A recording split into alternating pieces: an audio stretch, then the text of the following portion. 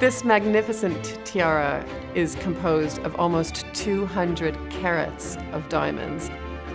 It was designed for Louise, Duchess of Fife, and given to her in 1889 as a wedding gift from her husband, um, Alexander Duff, who was the sixth Earl of Fife. And on their marriage, he was given a dukedom by Queen Victoria, so he was the Duke of Fife.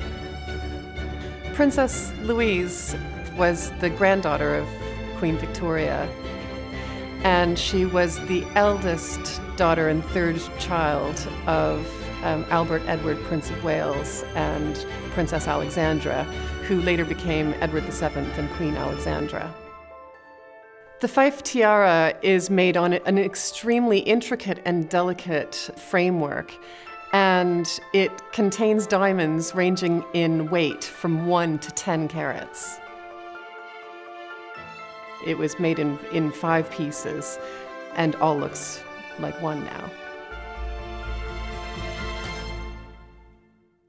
The tiara is extraordinary in its construction. It's silver in the front, gold in the back, and all 200 carats of the diamonds are beautifully cut and presented on the thinnest framework but what's really extraordinary is the, the tiny pivots on which the pear-shaped diamonds are presented.